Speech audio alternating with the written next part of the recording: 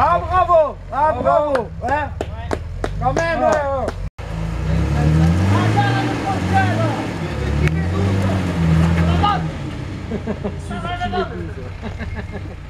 Et le con celui-là.